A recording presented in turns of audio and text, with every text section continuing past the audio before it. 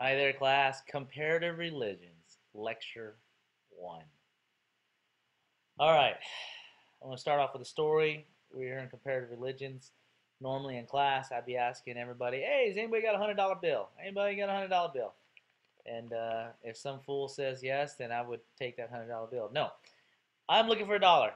This in my hands is a dollar. Now, I want to share this real quick, and as we understand comparative religions, this dollar, um, how do I know it's counterfeit? How do I know it's real?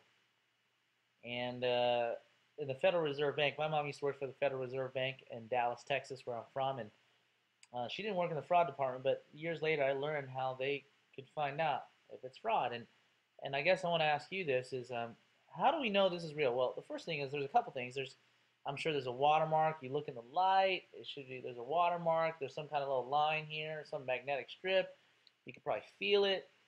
You can smell it like it's a dollar bill. You know that the ink or something. So there's several ways with the eye test, and then you even have some of these pens nowadays where you can kind of just mark on it and it turns color. There's some UV lighting that says it's real.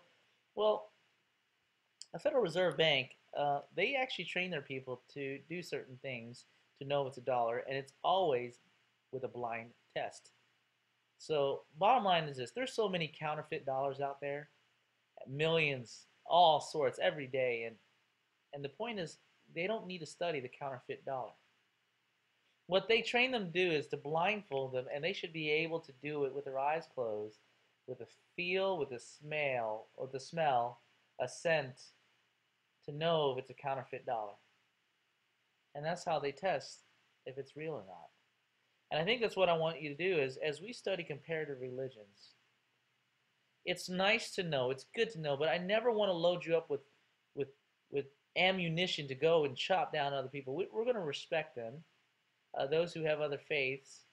And, and, I love Cal Baptist. You don't have to be a, a Christian to be here, but you, you definitely want to respect people. Now, people do sign up for Cal Baptist, understanding that they must understand that we hold dear uh, to Jesus Christ as our Lord and Savior. But I want you to know that I want to be able to help teach you the real dollar and then be able to line it up with all the other faiths and compare it in that, uh, in that sense as the benchmark, the dollar.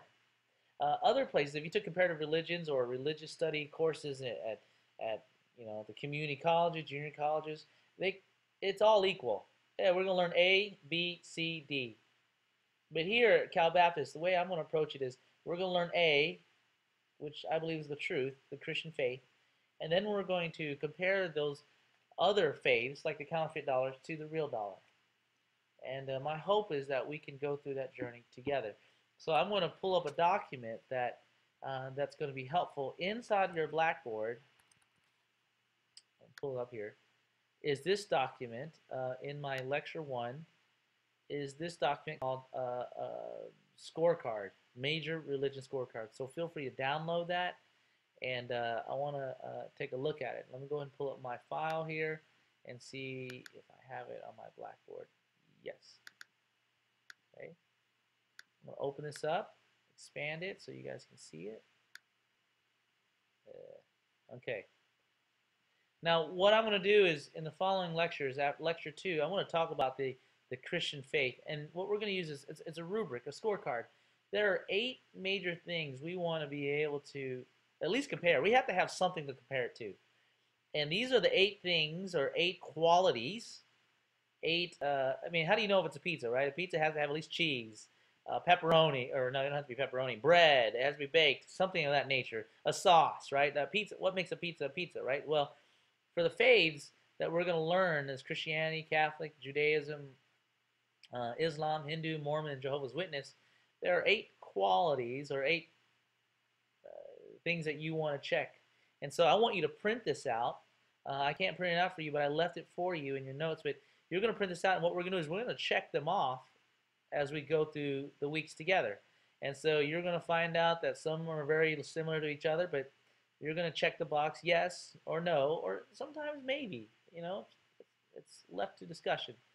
Um, and so we'll, we'll do that. So I'll always reference the scorecard. So please uh, have your scorecard ready.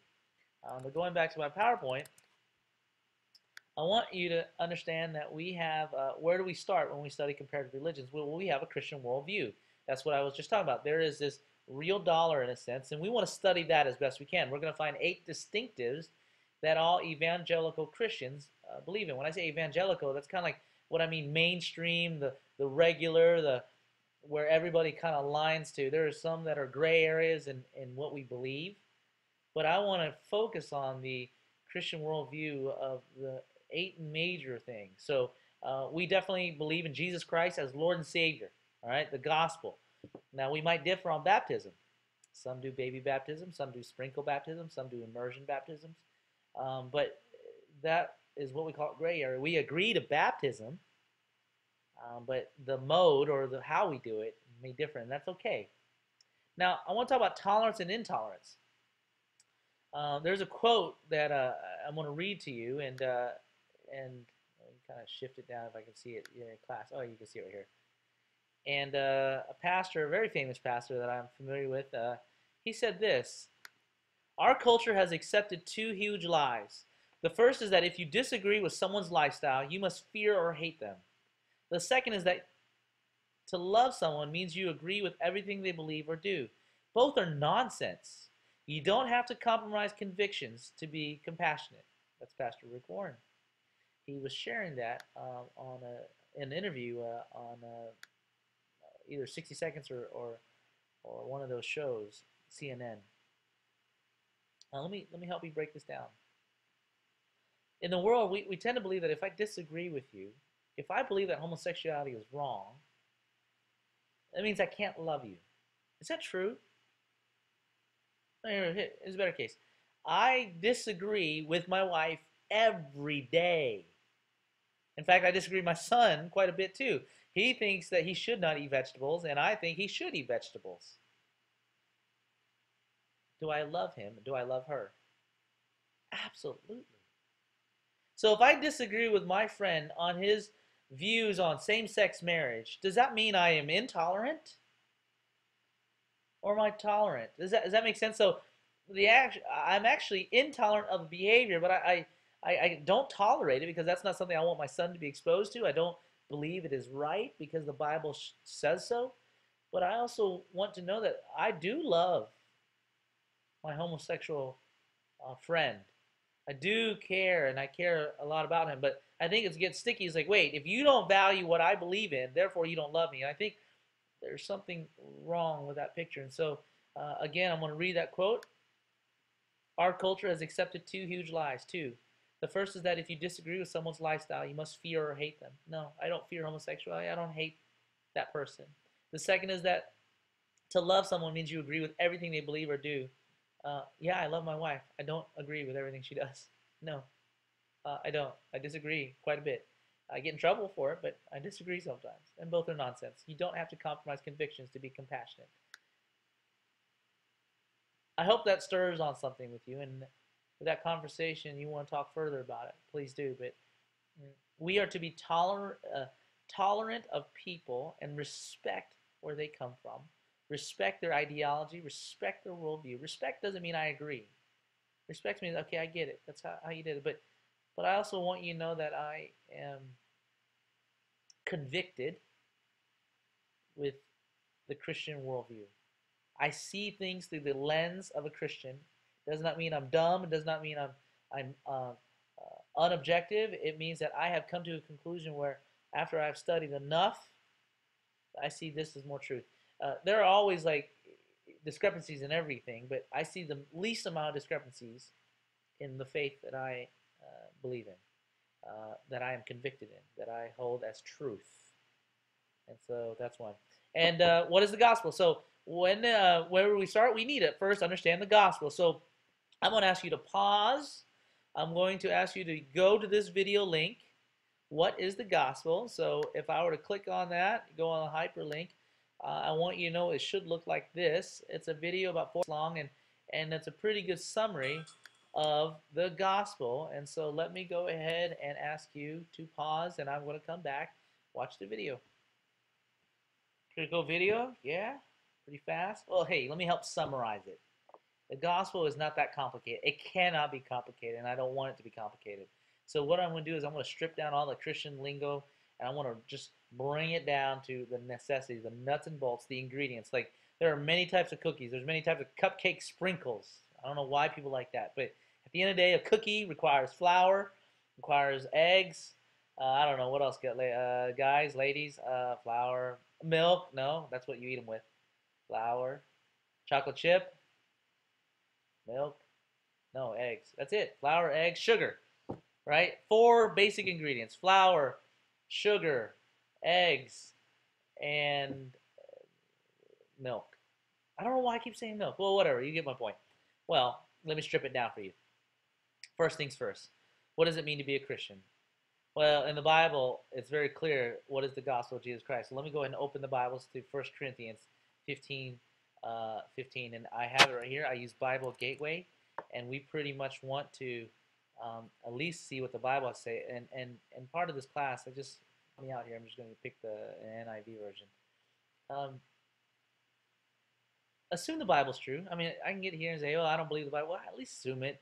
Assume it's true so that eh, for, for the sake of this class, it's going to help. And so when I say I'm going to the Bible, I'm using it as a reference, a source. And actually, that's going to be a big thing as we study the other faiths. What is the source of authority? And we believe this is the source of authority. But let me read this. Now, brothers and sisters, I want to remind you of the gospel I preached to you. The gospel, the good news, which you received and on which you have taken your stand. Conviction. By this gospel you are saved. You hold firmly to the word I preached to you, otherwise you have believed in vain.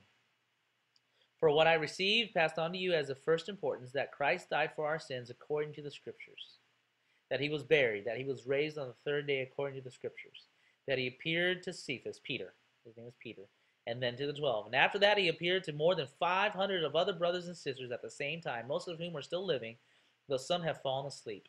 Then he appeared to James and to all the apostles, and last of all, he appeared to me. That's Paul talking, as to one abnormally born, meaning um, spiritually born. So let me go back to you in this.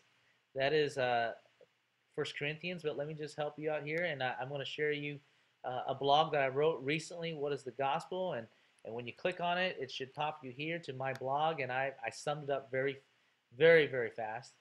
Uh, in Acts chapter 2 is when the, the church was born.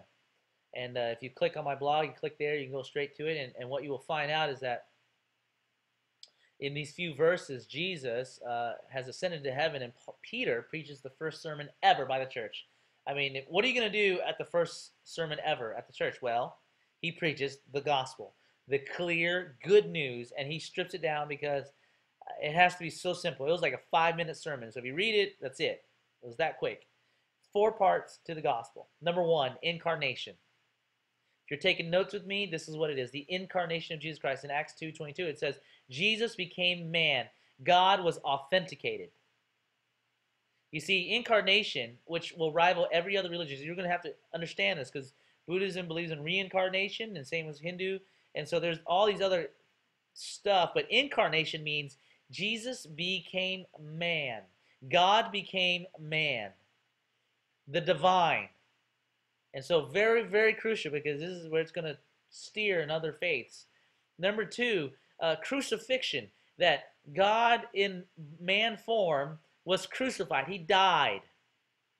He physically died. The cool part is that in, in verse 24 and 30, 32 is that Jesus Christ rose through resurrection. You see, resurrection is different than revivification. Revivification means it's kind of like The Walking Dead. Anybody watch that? It means uh, you die and then you kind of come back and and and then you can die again. Resurrection means Jesus Christ came back alive and he never died again. And so uh, uh, King David worshipped this God who has been resurrected. He looked for it. And so when uh, back then uh, in the verses when you read it, you'll see it and ascension. See, we believe in incarnation, crucifixion, resurrection, and Jesus Christ ascended, raised into the sky. Jesus Christ is as he ascended as King and Lord. And he will come back. And so these are crucial elements. And at the end of the day, at the end of the day, it requires a response. It requires a response from you and from me. And we call that repentance. Repentance means change of mind, that our mind must be changed. That, wow, something extraordinary happened. I, I might not be able to explain it, but in these four words, it requires my response. And so the gospel is not only just information, but it is something that you need to respond to. Everybody here watching and listening needs to respond to. And so I'm asking you as you guys think about this, as we go through the journey together, that you will be able to respond to the good news. And that is what it requires. So the good news does require us, or like the Paul says in the Bible, or we believe in vain. All right? So I just shared that with you. And so uh, uh, just what is salvation? The salvation is a change of our mind, a repentance as we turn away from the old way of life and we turn to a new way of life, meaning this good news has changed the way we think and the way we live. And uh, these are some scriptures that you do. And that's what salvation is. Salvation is being saved or knowing that our lives was so messed up before that Jesus rescued us and um, and brought us new life. So let me give you a picture here that I think is a lie, and I'm going to just write it here. We tend to think in life, uh, and many, I talk to college students all the time, is that uh, in life we have this line, this this neutral line, this neutral space, okay? Neutral, okay? Just I've never done this before, so I'm just kind of typing out neutral. And up here, we call that the the positive space, or we can even say heaven, good life, right? And if I choose God, I, I go to heaven. And then down here, we call it the negative space, or we call hell, right? And if I don't make a decision, then leave me alone, God. Wrong. That's a lie. Oops. You see, the gospel is trying to tell you that there is only one, uh, there's only one line here. Okay? On the bottom is a place without God. On the top, with God. And we all start where? Start here. See, this is the picture I want you to see. The picture I'm talking about is that we, a place without God, called hell, we we have no God. And what God did, what the cool thing is, Jesus came down and rescued us from a place without God because he wants to be reunited with his creation, who he love, and he brings us back up with God. So that might be better than saying heaven or hell, but it's the same thing. Hell is the wor- the worst thing about hell is not burning. It's the worst thing about hell is being without your Father, your Maker. And so it is a place without God. And He created a place. If you don't want it, fine. I don't have to be there. And this is where we all started. And so salvation is Jesus coming down, plucking us up out of place, and bringing us up so that we can be with Him. And hopefully that gives you a better picture. So this picture up here, wrong. There is no neutrality. The Bible says either you're for me or you're against me. And so if people say, well, why did God send me to hell? No, no, no, no. We started there. And God came down and rescued and picked us up. Make sense? Because that's going to be very important because we're not works-based salvation. So I'm going to do that. Uh, I'm going to give you some categories and definitions as we kind of take this uh, next few minutes together, and then uh, I'm going to end this lecture one. Uh, there are four types of belief systems or filters that I want you to be aware of. Exclusivism, uh, these are also the nicknames. Particularism or restrictivism is is what I'm going to hold to, and that is the belief that conscious faith in Christ alone is necessary for salvation. So this basically means you must acknowledge that just Jesus Christ, not like some God in the skies. There's some maker, some star out there that that that uh, I believe there's a God is not good enough. It has to be in Christ alone, in His incarnation, in His crucifixion, in His resurrection, and His ascension. Four. And I respond to that. That's particular. Now we say, well, wait, wait, wait, why so bigoted? No, no, that's it's okay because how do you make a cookie? I can't just start putting everything together. I, there are major ingredients, so you have to hold those major ingredients, and you get a cookie, right? Inclusivism is a belief that Jesus is the only way to God, but that conscious faith in Him is not necessary for salvation. So this is kind of the that weird story where you know what if he didn't know the gospel there was that guy out in africa and uh, he never heard the gospel in the village, and uh, he kind of lives a good life, but he can't say Jesus. He doesn't know Jesus because no one told him. Uh, yes, everybody else who know Jesus, that's Jesus, but inclusivism saying that hey, you know what? He just needs to have conscious faith. He doesn't. He doesn't have to say the name Jesus. And uh, but I would say that that's that's one view.